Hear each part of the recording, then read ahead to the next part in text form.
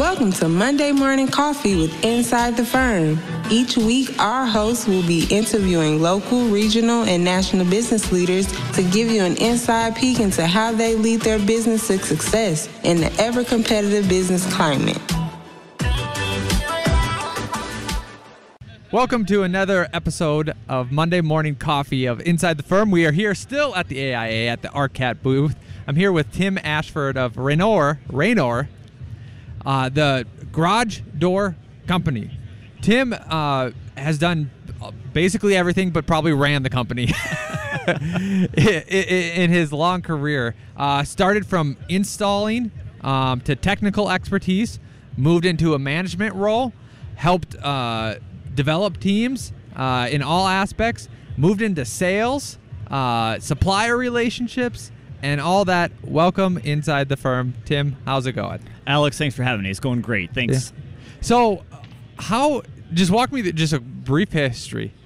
Did you go from high school to college into this? How did you get into this? Oh, we always like to joke in this industry that once you get in the garage door industry, you don't get out of it. And that's been true for me and a lot of people I know. And it's I don't know if anybody grows up says, um, "Hey, I, I want to be a garage door salesman or, sure. or installer or something like that." Unless, of course, maybe your father owned the business or whatnot. But for me, I went from high school and then into college, and I needed a job while I was in college. And uh, smart, yeah, you know, you got to pay the bills. My uh, girlfriend at the time, she's now my wife. Her father had a garage door business, and I said, "Oh, I'm gonna I'm going to be a plumber or electrician or whatever it was, you know, to, to supplement the income. And he says, no, no, no, come work for me. We'll put teach you how to put in garage doors. And uh, and uh, she said, once, once you do it, you'll never get out. Don't do it to him. And I said, oh, it'll be fine. It'll be for a couple of summers. And uh, yeah. here we are 22 years later still in the garage door business. But it's been very rewarding. Um, and it's a great industry because it serves a lot of needs for people, right? You've got a service aspect, you've got um, new product aspect of it, and it's something that's totally necessary, whether it be for residential, everybody has a door on their home, or most people do, garage door on their home, uh, or for commercial. Businesses don't run without garage doors. Yep. How did you manage and your company manage the whole COVID and the supply chain issues? And how is that going now? Because I remember ordering products and literally having a house basically built and waiting for a garage door. I can't remember. If, I'm not going to put the blame on you guys because I don't know if it was your door or not. But how, how has that been? It's been a challenge, and I think it, if you were to ask any anyone at the show, uh, certainly any one of my competitors, it's been very challenging. So garage doors uh, have a lot of components in them. They have steel, aluminum, not very many, but there's a few import products. Um, and one of the things that set Raynor apart through the pandemic, through 2020, 2021, and, and more so into 2021 with uh, the supply chain aspect, was we manufacture the vast majority of things ourselves in house. So our purchasing and procurement team is fantastic. They have great relationships with the raw material suppliers. So, you know, when we needed steel, say, um, we were at the top of the list of being able to get it because we have such good relationships, and our purchase volume is big enough where um, we weren't buying on spot. We had contract and so on. So there was some a few, you know. Um, procedural things, I guess, that helped us, but a lot of it boiled down to relationships and communication. Um, you know, I, am not going to say that we didn't stub our toe as most people did. Of um, course. But the reality is, is that uh, we over communicate, and uh, a big part of that was communicating with our customers from the product procurement side all the way through to when they would expect their finished garage door. I swear that a majority of business leadership in college could be hey, how to communicate, and then practice communicating. And like that sets so many businesses apart from the other. Hey, I'm coming. Hey, I'll be there. Hey, there's a delay. You know, whatever it is, just letting the client know, letting the customers know, and, and working through it. Um, do you own the factories? In is that in here? Is that in China, Mexico? Where's so all of our product is produced in uh, the vast majority of our product is produced in either our Mississauga, Ontario factory, okay, which Canada, Canada, which services hey. our Canadian customers, or and that's you know a few product lines there, but a vast majority of ours produced right here in Illinois, in Dixon, Illinois. Oh, so, awesome. Uh, again, products and material, raw material comes from all over the country and all over the globe, but we manufacture the vast majority of everything right here in the United States of America. That's good to know. Um, what are the what are your different types of garage doors made of? what are the different options of what they can be made of? Yeah, I would say that we've got the bulk of, of garage doors nowadays, and when I say nowadays in the past 30 years, are made out of steel. And there's some variation of steel. So you have either a non insulated door, commonly referred to maybe as a pan door, but it's just an outside skin of steel and there's no insulation in it. Then you have like garage doors that have insulation inserts in them. And then you have doors that are steel exterior, steel interior, and they have some form of insulation between the two skins, whether it be polystyrene insulation or injected polyurethane insulation. And of course, there's different pros and cons. And, and one of the biggest features that you pay for uh, when you go to that polyurethane um, is the value it brings in terms of thermal properties. So they have air infiltration ratings, they have higher U factor ratings, things like that. So that's the vast majority of sectional doors. Uh, coiling doors are either aluminum or steel, uh, with again the majority of them being steel. And then if you see the doors with the big windows in them, those are usually made out of aluminum extrusion. So they have a lot of glass component, but they're the frames are made out of aluminum. And then I would say on the specialty side, um, there's some more exotic materials out there like fabric, uh, polyethylene fabrics, things like that. Um, but they're a, a smaller portion of the overall sales. Gotcha. Um, what's Raynor's process and team kind of dynamic like? From the manufacturing perspective, we've got again our product made either in Illinois or Ontario, and both of them operate uh, similarly in that we have vice president of manufacturing, and then of course the subsequent teams that uh, support that. Uh, we bring, of course, the raw material in. We manufacture in um, our different factories, and, and the great thing uh, that actually just happened with Raynor is we acquired almost 600,000 square feet of new warehouse. So Ah. our capacity is coming online to uh, support the demand, which is fantastic. Um, but you know, our manufacturing team works really, really closely with our uh, sales team, our procurement team, um, our marketing teams, so that, as you mentioned earlier, it's the communication to our customers. And I really feel like there's some great synergies between what's happening with things being made, with what's being communicated to the customers, and uh, what's being sold. So we have a lot of you know cross-functional meetings, cross-functional teams that really create a lot of good synergies between the uh, departments, so that nobody's operating in a silo. Yeah, awesome. Um, are you seeing any sort of new trends or new things that you're developing? Um, what are I feel like people are more looking to glass or that modern or maybe trying to, but um, it's a little bit more expensive. But it depends. I don't think the the glass and you might might not be glass inside. There might be a plastic. It isn't ex- as expensive when you do it in a garage versus trying to do it in your house because people do that in our house too. Do you do both of those? Uh, yes, we do both. Yeah. So we, I mean, when you talk about both, we have there's a lot of new applications for garage doors. So trends are always more are always driving towards higher efficiencies, whether it be speed efficiency, how quickly the door operates, particularly industrial applications. So how quickly can that door operate to allow flow of product? How durable is the product? So if it happens to get run into with a forklift or something like that, a pallet jack, is it able to still function? And then how efficient is the product in terms of thermal efficiency? So daylight views, um, what's the, the lowest air infiltration, the uh, lowest U factors, things like that. So we're always driving our products towards the highest uh, performance in any one of those areas. You talk about specific trends, uh, like on the commercial side, it used to be you could have two offerings, a white door and a brown door. Yes. And everybody's okay with that. Um, but Then now, then three, then a tan door. and a tan door. And Yeah. now, if you aren't, if a manufacturer doesn't offer half a dozen colors or more, um, you're kind of out of the running. A lot of new commercial buildings, uh, you'll see blacks and grays and some of the more exotic colors. You'll see windows instead of going a row of horizontal windows, there'll be vertical windows. and again, yeah. not just on residential, on commercial as well. So I think the commercial space, depending on the application, of course, is taking a lot of cues from the residential, which I think is exciting because um, you know it really makes a, a building design stand out. Yeah. Um, what percentage are you residential versus commercial in sales? So Raynor, we're about like it depends on the year. You know, Yeah. we sold more residential the last couple of years than we had the years before, just because that was where the market was shifting. But we're like 60 40 65 35 um, commercial versus residential. We're skewed more towards commercial and again that varies year to year depending on where the market trends are.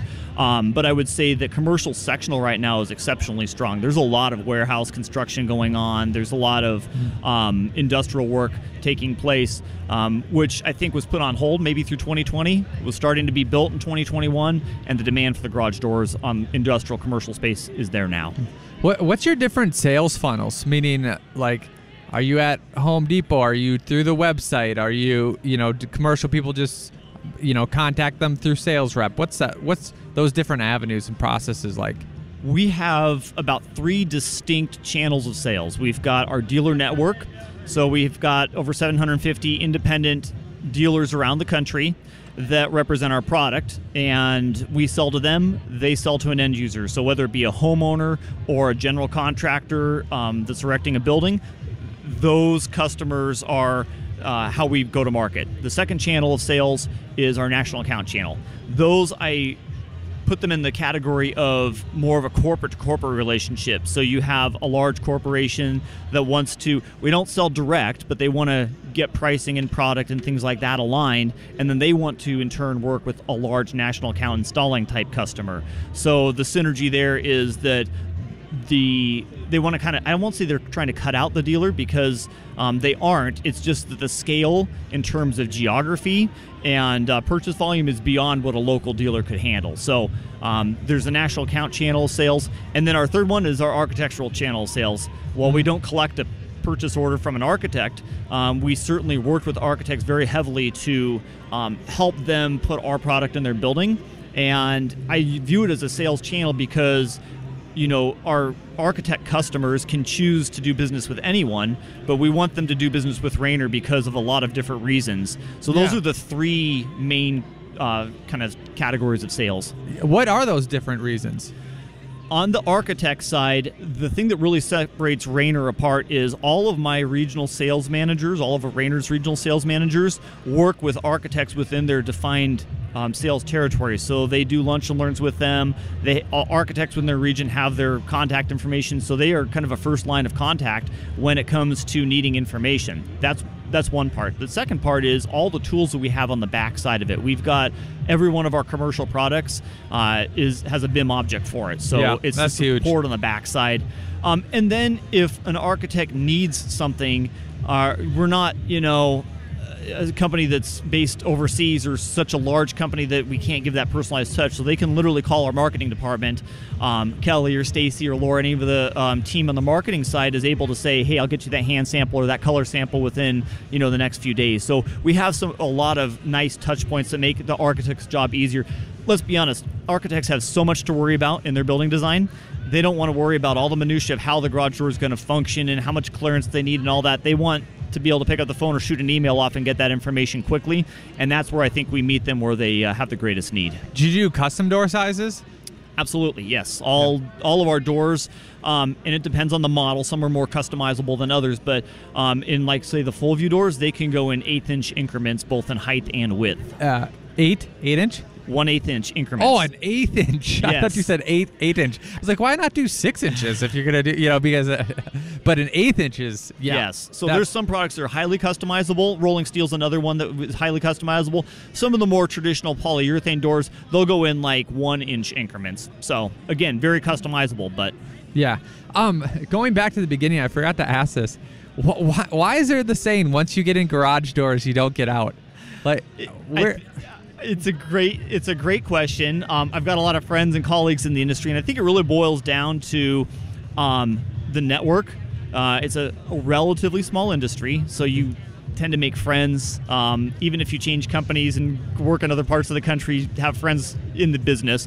The other thing is, I think it ha- is a great path with a lot of different things. If you want to, if you're great with your hands and you want to keep working in the field, you can install, you can troubleshoot, you can work on the technical side of things. Um, so there's that pathway. If you want to get into sales, it's a great entry point into um, you know a sales channel. And you, there's a lot of different areas where you can work. You can work on the dealer level in a local market. You can work for a manufacturer in a lot of different areas um, you know across the country. So I, I think that's one part of it. And i think the other thing is it's a resilient industry. You are uh, relatively recession proof. You're relatively, um, um, and I won't say immune because nobody is, but immune from some of the ups and downs. No pun intended. Um, Yeah. Because the reality is, is, is there's a, a need for it. Everybody needs a garage door uh, to keep their, their home or their business functioning properly. Do you find that most maybe homeowners or architects or anyone are, and this might be an error in, in, in my assumption, they're focused on what the door looks like, you know, where the windows are placed and what the color is. But a huge other component is, you know, what's the motor? How loud is it? Can you control it from your phone? You know, all those types of things. And anything new coming out, you know? Uh, you bring up a great point, Alex. I think that the when, whenever we do a sales process, whether it be us or with um, an architect or a, a dealer with a homeowner, is what are the core features that you want? Is it I need this door to operate quickly, or I need this door to have a lot of insulation quality, or it's in a parking structure and there's apartments up above it. I need it to be very quiet. So you narrow down what the needs are, and then you build the product from there. And you're right. There's absolutely a lot of technology built into garage door openers nowadays. Um, specifically on the residential side, they're Bluetooth enabled. They'll take over-the-air updates uh, for software. You can control them with your phone. Um, From uh, miles and states away. absolutely. I know people because we have a complex and we know people. So they're like, hey, can you throw that package in my garage? I'll open the door for you. You know. It works with Amazon Key, that sort of thing. uh, Ah, the other yeah. thing is that it will alert you with cameras. Uh, a lot of our residential operators have a built-in camera, so In the garage in door, the garage door opener, looking inside, outside, or both. inside the garage. So if you have that Amazon delivery driver that you open the door for them with, or they open the door with the code, you can verify that they left the package there and that the door was closed behind them. yeah, and they didn't take anything. Yeah, They didn't take anything. Yes. very cool. Yeah, I haven't heard of that one, but it makes complete sense that they do that. Is that the newest thing? Is That's probably one of the newest things is Amazon Key, um, and then the the built-in cameras. Yeah, that's probably the newest thing. You know, uh, and then there's diagnostics things. Like on the commercial side, there's the boards and the systems on the commercial uh, side of things really diagnose how many cycles. Is there something um, that has tripped the uh, the photo eye system or the reversing edge, that sort of thing. So there's a lot of diagnostic stuff built into commercial operators um, that really put tools in the hands of um, facility managers so that they can, you know, maybe it wasn't the correct product that was installed in the first place. Maybe they need to do something bigger or faster or something like that. And so it really helps them narrow that decision process down the road too. what was one of the hardest challenges in your whole career? Maybe a mess up, maybe an error, maybe a lesson you learned from, maybe just like a catastrophe of a project or relationship uh, that maybe you had to work to resolve. it's hard to pinpoint. I'm sure there's been, you know, I'm sure there's been some. I, I don't know that I can pinpoint like a, a catastrophe or something major. I would say that all of the things that I have overcome in my career that have been challenging um, have been overcome through going back to our previous conver- part of the conversation, overcome through communication. If I am able to articulate to a customer what the mistake is, uh, if I owned it, owning up to it, if it's even if I didn't cause it, if it's something that we as a company have done, owning up to it and owning the problem, uh, t- conversations tend to go a lot better. And so I would say there's never been this major catastrophe. Um, there's been challenges. I mean, in 22 years in, in any industry, you're going to run into challenges. Um, but I think that approaching every situation uh, with integrity and with uh, communication, and frankly, te- approaching it like you would want to be approached in the same situation, has helped uh, mitigate many, many of those uh, uncomfortable situations. Absolutely. Um, any other idea that we haven't talked about? And then where would you like to point people to go to, to learn more, to see what you have to offer, to dive deeper?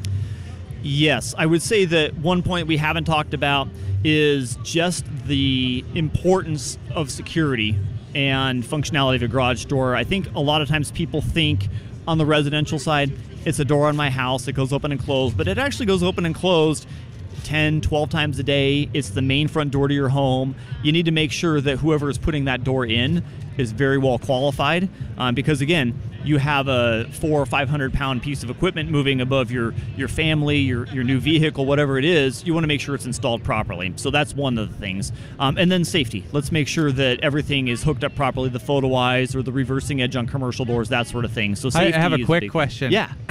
You know, so all my new garage doors have that thing at the bottom where the safety thing. And I grew up when they didn't have that. And I got squished under a garage door and it hurt. Mm-hmm. Luckily my friends were there and all that because you know, I don't know what we were doing. You'd always hit it and you'd always try to dive under and run through. You know, sometimes you get caught.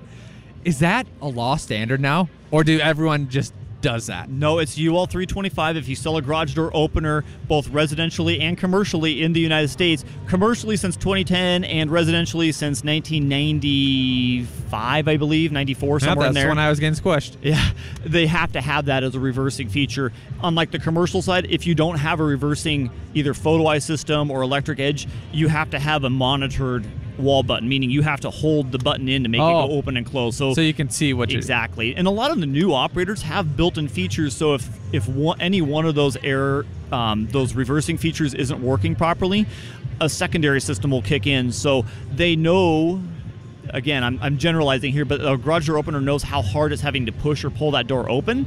So let's say, let's say you just have a broken spring on it. It's not going to try and pull that door open, knowing that it's weighing twice as much as it normally should. So it'll not open that door. It'll alert you to call a maintenance person. So there's a lot of things like that built in. Yeah, awesome. Sorry to cut you off, but I think you were talking about security, so maybe we kind of Yeah, security is the other thing is making sure whether it's on a commercial door you have a timer to close it behind you, making sure that you have the right door um, for the application. I mean, if you're trying to secure a building uh, in a in a neighborhood, there's there's heavier gauge steel that you can put on the door. There's different track systems that make it harder to break into. So I think security is a big part of it also, um, and just pairing again. I've said it a few times, pairing that right door to the right application. Absolutely. Okay, leave us with where can people go to learn more to dive deeper if they need to, Absolutely. You can and go, give out your personal phone number and all that. you can go to our website. It's Raynor R A Y N O R dot com. And we actually have a whole architect's corner there. We also have commercial, residential, and so on. You can get any information you need there. And then it has a contact us form uh, where we'll get your contact information to whoever can help you best. awesome. Thanks a lot, Tim. It's been a pleasure. Thanks for being on Inside the Firm. Alex, thank you very much.